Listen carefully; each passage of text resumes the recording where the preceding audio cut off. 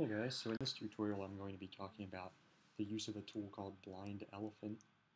Blind Elephant is a fingerprinting tool that is you can use to scan web applications to determine what the underlying content management system or uh, setup is.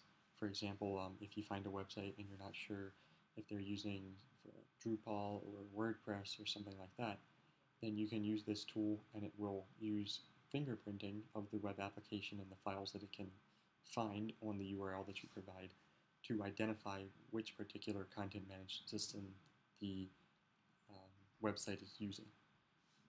So anytime you're um, probing a website for vulnerabilities or you're doing sort of a security test on a website, the first thing to do is to do sort of a reconnaissance and find out exactly what underlying systems that web application is using. So um, I'm using Backtrack, but you can also blind or uh, download Blind Elephant from the SourceForge page. Just Google for Blind Elephant, and uh, the instructions for installation will be there. But like I said, if you're using Backtrack, then it will be located in Applications Backtrack, Info Gathering, Web Application Analysis, CMS Identification, Blind Elephant. So that opens this up here, and um, in order to run this tool, you use uh, Python blind elephant, and then the first option that you're going to give it is the URL. So I have another website set up on a different virtual machine that I'm just going to provide the uh, URL for here.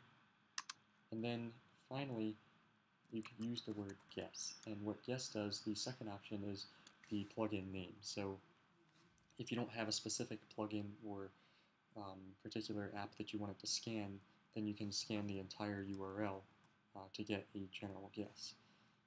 So um, just use guess for now, and if you hit enter, it's going to probe that website, and here you can see that it returned WordPress, which is correct. The uh, application that I'm hosting on that URL is using the WordPress content management system. So this is a, a really simple tool, but it's really helpful, especially if after probing around online a little bit, you can't find any of the um, standard URLs that you would associate with a particular content management system. So thanks for watching this video. If you have any questions about um, content management system identification or this tool in particular, leave a comment and I'll try to help you out.